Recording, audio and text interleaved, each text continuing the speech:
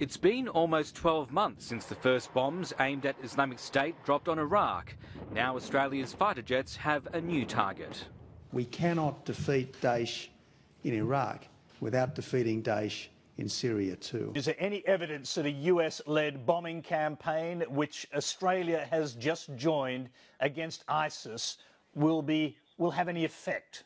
Well, I suppose I can only hope that your Prime Minister can find Syria on a map because the Americans have clearly not had any effect and they're doing most of the bombing.